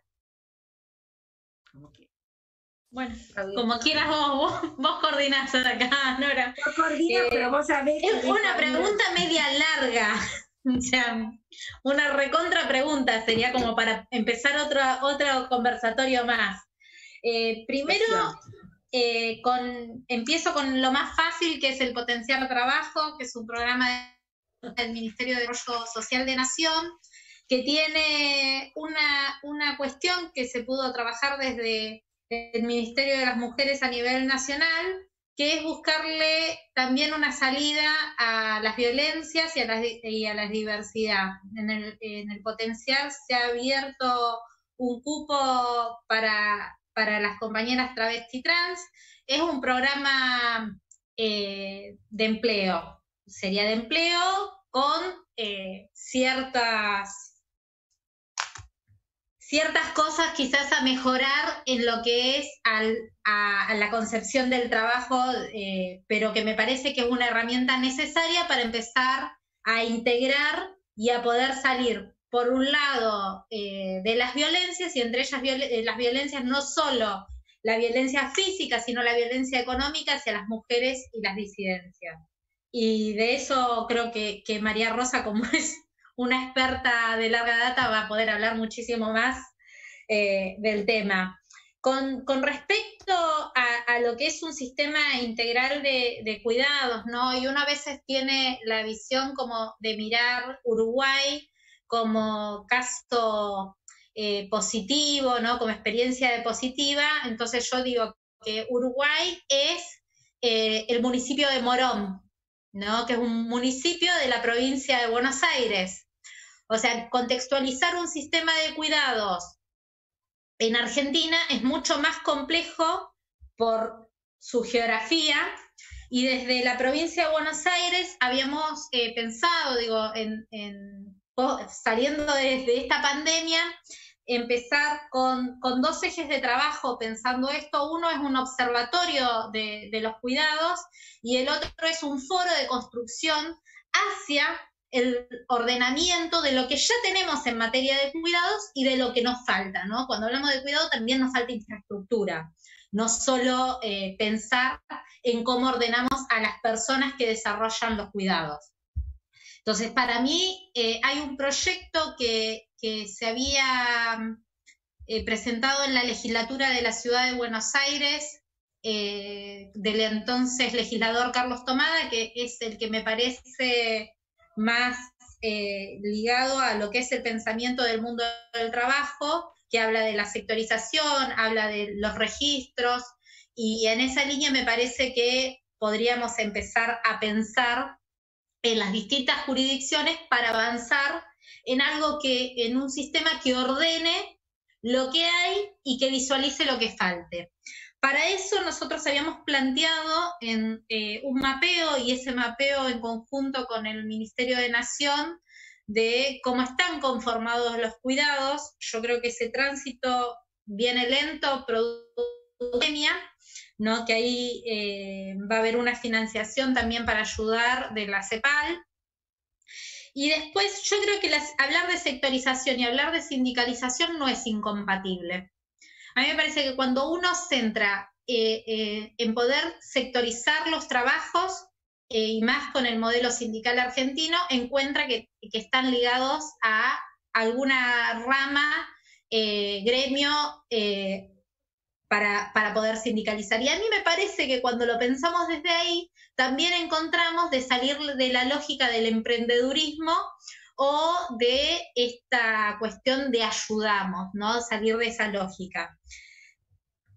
O sea, hay como núcleos centrales de cuando sectorizamos. Están las personas que trabajamos fuera de la casa, pero que cuidamos, cuando volvemos, las personas que se dedican a los cuidados, las personas que dedican su función 100% a la gestión del hogar, y eso es un cuidado, ¿no? Pensar la gestión desde la economía del hogar, eh, las agendas que son múltiples de los hijos, digo, no es fácil conciliar una casa y a veces tan desnostado el trabajo del ama de casa. Y después todo ese universo de los cuidados comunitarios. Digo, esas sectorizaciones, inclusive cuando pensamos en el sector de los, de, de, los cuidados comunitarios, también si volvemos a sectorizar, vamos a encontrar, yo estoy 100% eh, convencida de que lo que propone María Rosa es empezar a trabajar sobre ese eje de los cuidados pensando en el trabajo. Y la sindicalización viene de la mano. Y ahí eh, me parece fundamental pensar en, los esquemas sindicales y gremiales que tienen que fomentar y trabajar sobre esto. Y de hecho, hace muy poquito estuvimos hablando con, Mario Cafiero, el presidente del INAES, eh, de cómo podemos, eh, desde las organizaciones sindicales, también pensar en este entramado de los cuidados, ¿no? Y cómo las mutuales eh, y, las, y las cooperativas de servicio podrían ser gran promotoras de los cuidados para poder fomentar este trabajo asociativo. Entonces, ahí me parece que, la discusión a veces pasa por eh, cómo, cómo pensamos ¿no? ese desarrollo de la sindicalización y de la sectorización. ¿no? Y va a haber eh, disputa de intereses, porque claramente va a haber una disputa de intereses. Lo que me parece es que cuando uno piensa eh, esas políticas públicas, cuando piensa esas herramientas, las piensa en función de un ordenamiento. Digo, sin ir más lejos, cuando nosotros decimos, existe una ley de trabajadoras de casas particulares, y sectorizamos profundamente ese sector, sabemos que tenemos que generar las herramientas también para que, se, que, esa legislación sea. Y de hecho está eh, dentro de, su, ley, no hay un ítem donde habla específicamente de los cuidados a terceros, no solo del ordenamiento del hogar, ¿no? que tenga que ver con eh, planchar, cocinar, bueno, todas las tareas que, que, se puedan hacer en una casa, sino también que dice hasta dónde pueden cuidar personas.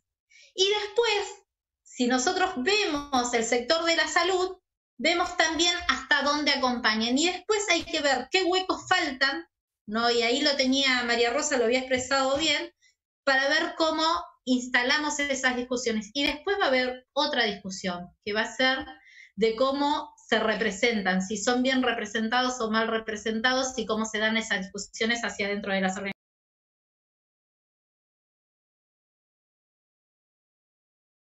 Y cuando digo también pensar en esto que ya eh, tenemos, una, de las cosas que hay que pensar profundamente es las trabajadoras amas de casa eh, dar la discusión real de lo que sería la jubilación y lo que sería tener un salario. Digo, en los 50 en Argentina se planteó el trabajo y el hogar, no la fábrica y el hogar. Bueno, ese debate continúa, está abierto y hoy está profundizado porque me parece que se empiezan a visualizar de que logramos conciliar muchas cosas. Logramos conciliar, en mi caso y en el caso de muchas, peronismo, feminismo, sindicalismo, y esas conciliaciones también hacen a las fortalezas que estamos dando los debates en nuestras organizaciones y desde los lugares donde nos toca estar haciendo esas discusiones.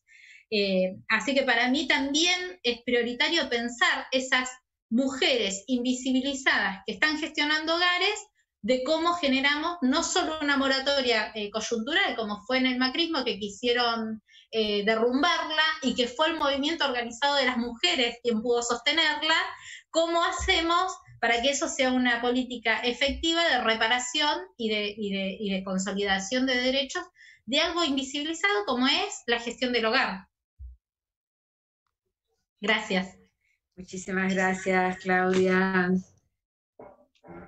María Rosa.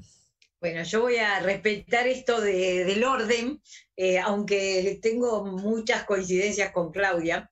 y en realidad creo que, que para generar una política nacional de cuidados en Argentina tenemos que ser bastante respetuosos de lo federal de nuestro país y lo particular. O sea, es difícil eh, poder asimilar la Argentina con Uruguay o con Costa Rica, que son países unitarios y con otra población, pero sin duda hay que analizar todas las experiencias que se hayan dado en Latinoamérica y en otros países, porque me parece que, que en realidad eh, tenemos que aprender de las prácticas de otros, sin duda.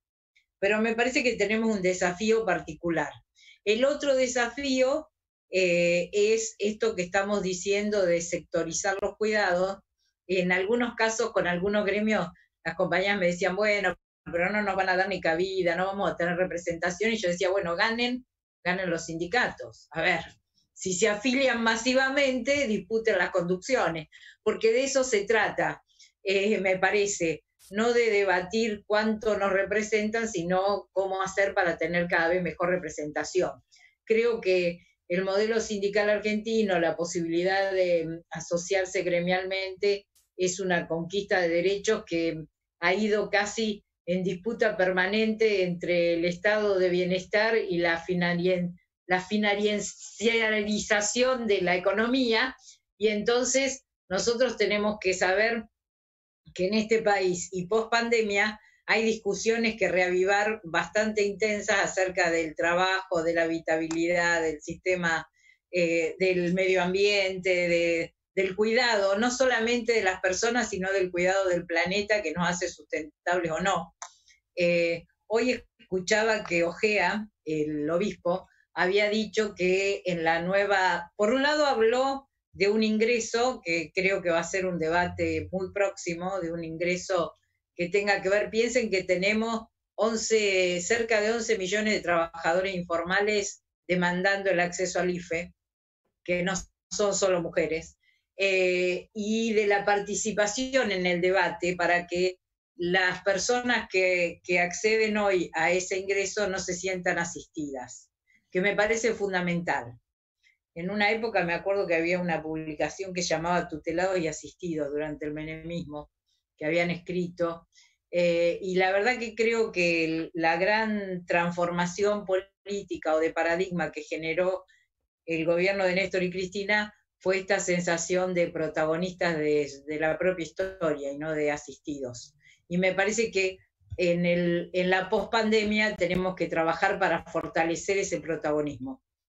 Yo creo, igual que Claudia, que el trabajo de cuidados hay que poder eh, sectorizarlo y que ya hay gremios que representan una parte de ese cuidado. El problema es que todavía hay debilidad en la, en la sindicalización y también hay debilidad en esos gremios, porque son los gremios eh, que han surgido, qué sé yo, el de trabajadoras en casas particulares tiene poco tiempo, nos estamos enterando muchas de las que participamos en política que tiene eh, un, convenio colectivo que discute, que discute con el sindicato de amas de casa, que a las, a las compañías del sindicato de amas de casa le costó bastante aceptar ese rol, pero había que tener una posibilidad de negociación en algún punto.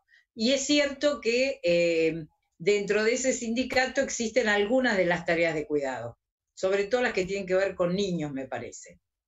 Eh, en cuanto al cuidado comunitario, hay bastantes iniciativas de eh, generar como un estatuto propio. Ahí yo estuve reunida con compañeras este sábado y la semana anterior. Se está hablando mucho de lo comunitario.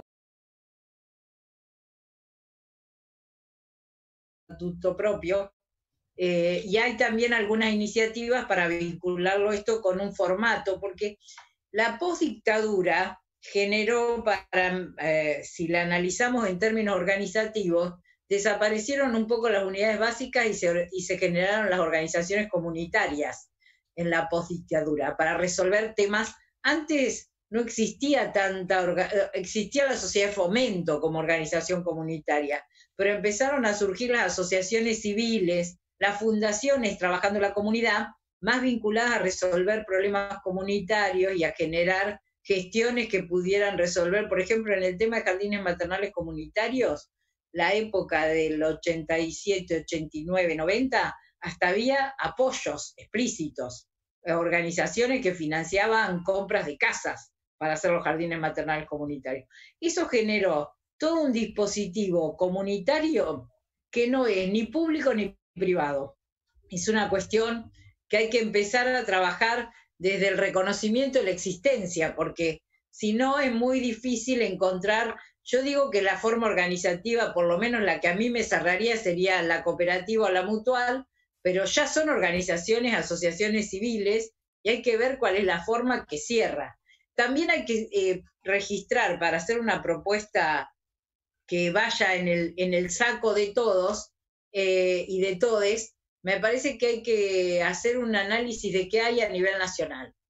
Porque yo creo que, mm, miren, yo en el, no me acuerdo en qué año, pero me parece que era los 95, coordiné un programa nacional de, madres y padres cuidadores y encontré en, lugares insólitos experiencias parecidas y diferentes, eh, de cuidado de niños, por ejemplo, eh, y en algunos casos pedidos muy diferentes. Yo me acuerdo que había un cura en el Chaco que pedía que la capacitación fuera acerca de organización familiar, porque había mucha brutalidad, porque no se sabía cómo hablar con los pibes, con los niños pequeños, y que había que dar herramientas del diálogo y que con eso íbamos a mejorar mucho el cuidado de niños a nivel comunitario. Y la verdad que sirvió. Y en el paso de Jama nos decían, nosotros necesitamos letrinas secas para que los pibes no se mueran. Esa era la política de cuidado ahí.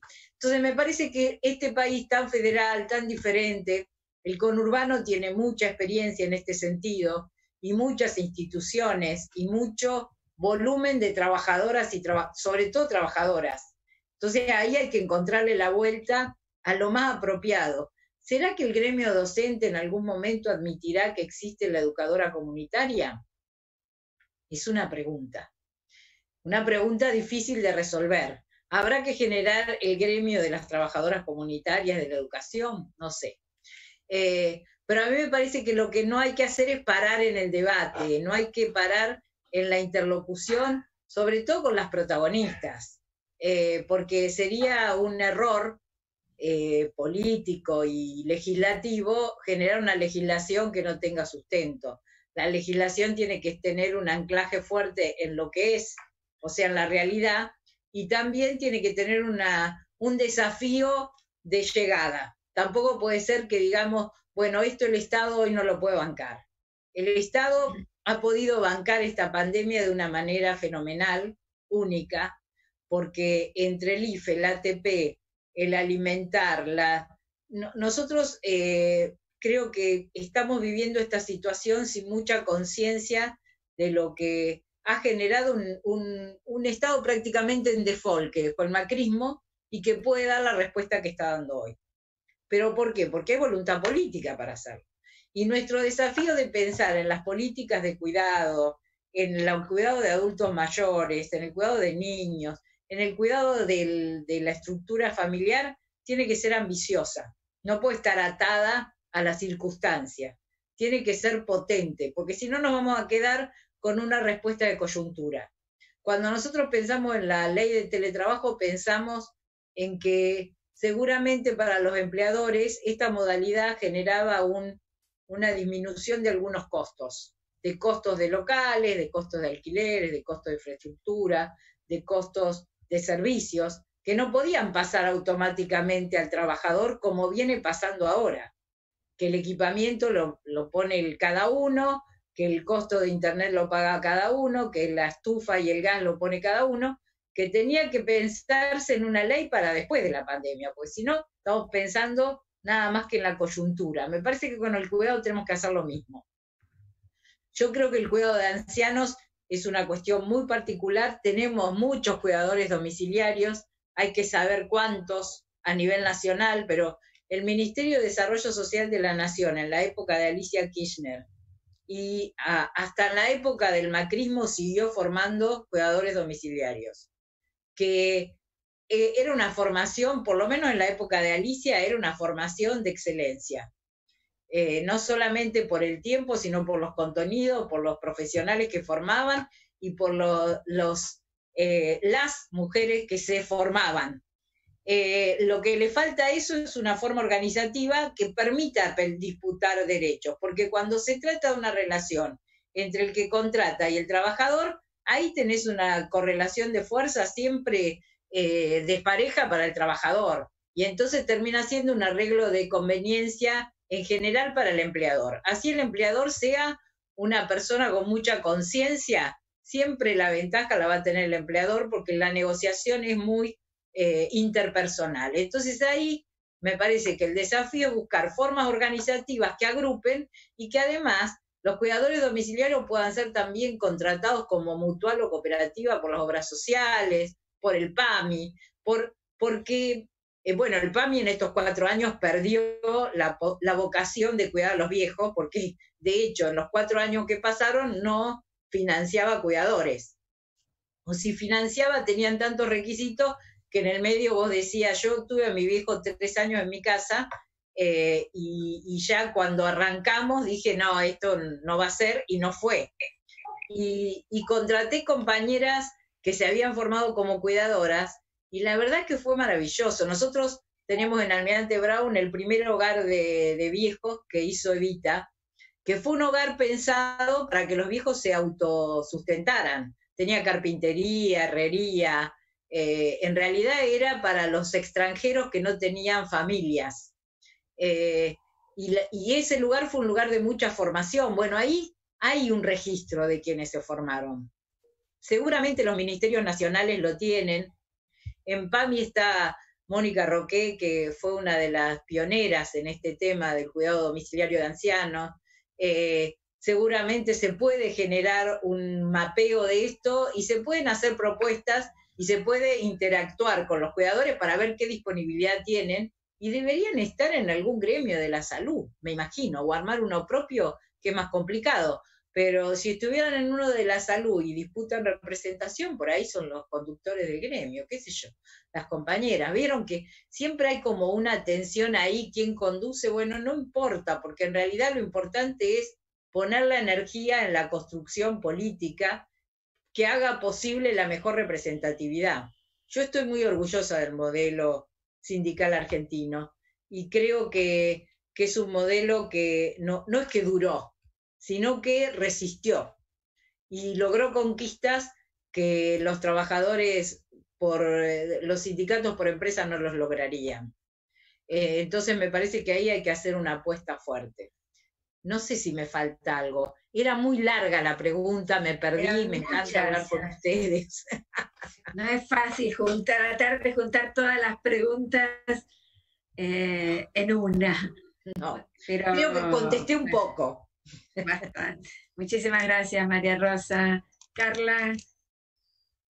Bueno, para sumar eh, a, lo, a, lo, ya dicho, me parece que la clave cuando pensamos en los sistemas nacionales de cuidado eh, que le ponemos comillas, porque Uruguay lo mencionó de esa manera, otros hablan de un pacto social del cuidado que me parece que es clave, Costa Rica lo llamó red de cuidado, no pensar que vamos a dar un modelo de un país y dejarlo propio, obviamente tenemos diferencias demográficas de composición, distintos niveles de envejecimiento de la población, eh, distintas tradiciones eh, de hacer política, distintos actores, distintas formas de pensar el cuidado de las poblaciones dependientes, entre comillas.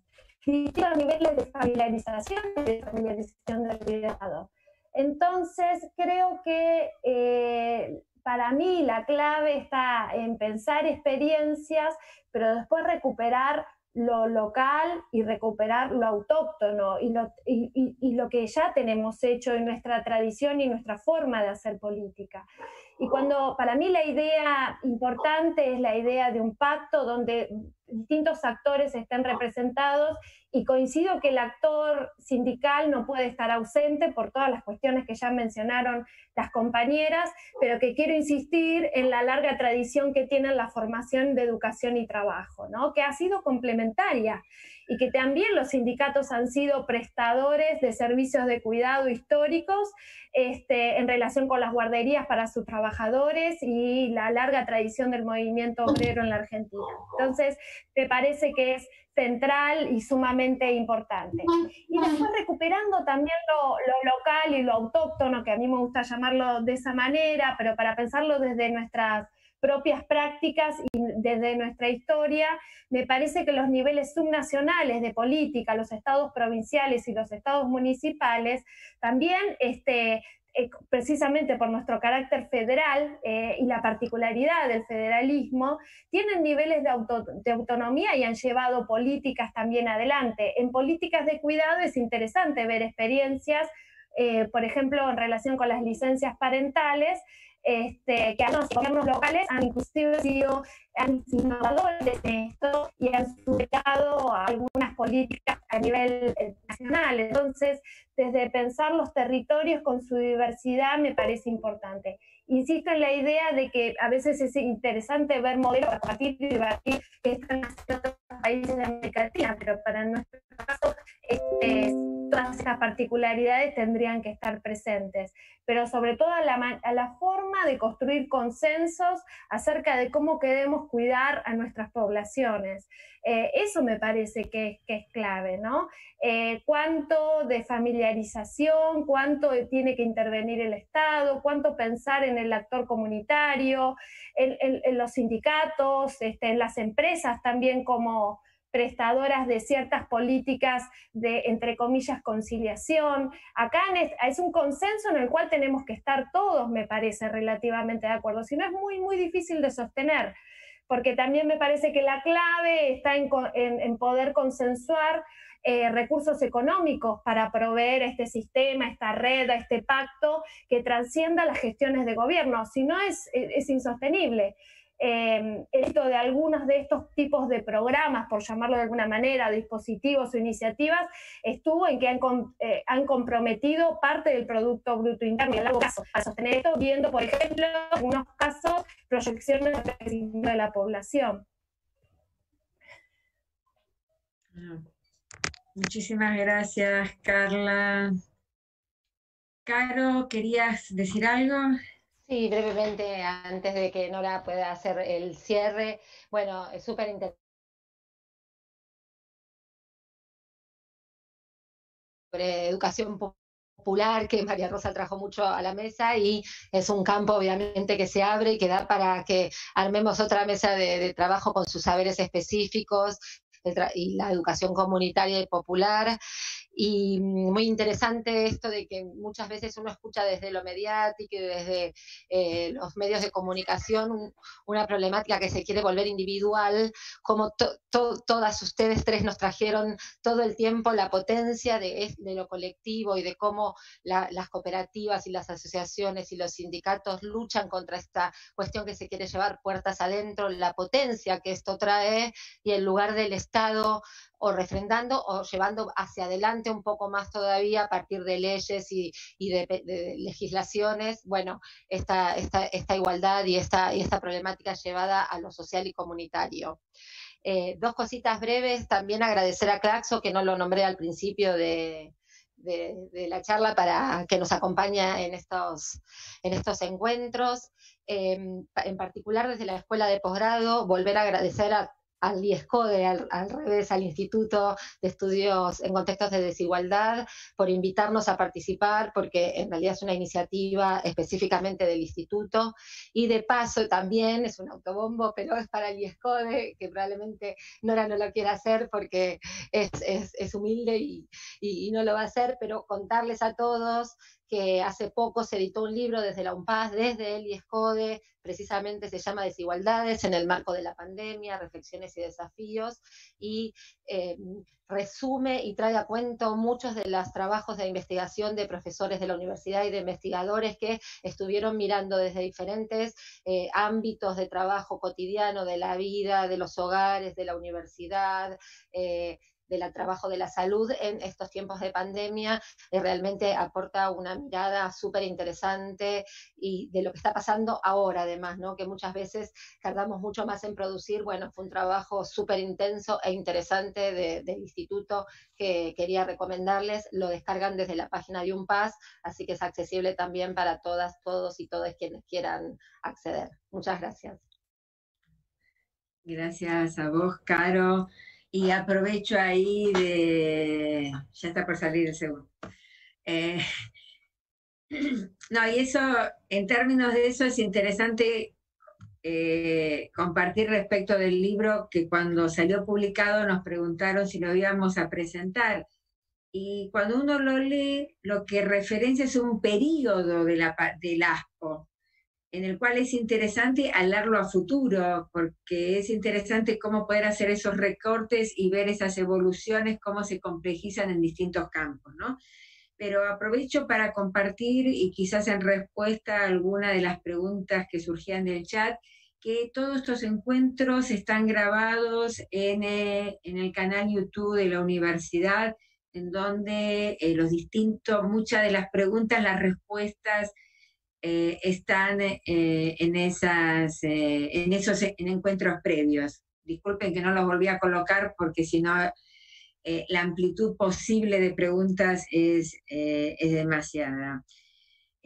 a ver, no, simplemente quiero antes de cerrar, y digo cerrar porque podríamos seguir porque hay preguntas para seguir horas, pero ya son las nueve de la noche colocar dos reflexiones que, más que dos reflexiones, dos, ejes que colocaban en distintas compañeras y era para pensar a futuro y es la tensión, es, por ejemplo, entre las incumbencias de las enfermeras y de las cuidadoras de adultos, ¿no? O sea, esas cuestiones a resolver que siempre están latentes cuando se hablan de esas temáticas y que me parece interesante que suma a este tránsito proyectivo. Y otra que Caro la trajo y que está vinculado a las educadoras populares, que las educadoras populares no quieren ser educadoras formales. Entonces una compañera señalaba, ¿por qué no armar eh, un espacio de gestión social, como existen eh, los ministerios de gestión eh, estatal? No, a ver, me parece que hay, no, a ver, no, estoy no lo estoy planteando yo como propuesta, estoy eh, colocando temas que seguramente están en la agenda a resolver y que son nudos centrales, que son que pasan en nuestros territorios en el día a día y que seguramente son espacios, necesitan de espacio de conversación, de encuentros y de desencuentros. Y creo que aparecieron un sinnúmero, un sinnúmero de temas, cuestiones más que interesantes y celebro pensar los cuidados en diálogos con el eh, trabajo entendido en términos tradicionales, más allá que el trabajo sea todo, lo productivo, lo reproductivo, los cuidados que hoy la pandemia nos ha visibilizado eh, de, una manera que es imposible no, hablar, no hablarlos y lo ha acelerado, y ha acelerado y que creo que, creo que lo dijo María Rosa, eh, es importante aprovechar esta oleada de alguna manera, así como lo del teletrabajo se tuvo que regular tan rápidamente, ¿por qué no pensar rápidamente cómo hacemos eh, con los cuidados? Pero y ahí sí, solo para cerrar, siempre pensar que no reifiquemos ni a feminidades ni a masculinidades en un lugar, no reifiquemos a las mujeres en el cuidado, porque no, prefiero no decir el futuro del trabajo, sino el trabajo del futuro, porque nos pone en un lugar de potencialidad, de acción, pensar en cómo construimos esta corresponsabilidad y este deseo en que las relaciones no sean tan desiguales, porque el mundo va a seguir su trayectoria y quizás no sea cuestión de que las mujeres sigamos estando en los lugares menos valorados, menos reconocidos y como dicen algunas autoras, hagamos corrimientos generizados en vez de construir esa corresponsabilidad que creo que hoy está netamente avivada y viva entre todas, todes. Tenemos ministerios, tenemos militancia, tenemos organización, tenemos una pandemia en el medio que hace imposible que no lo pensemos,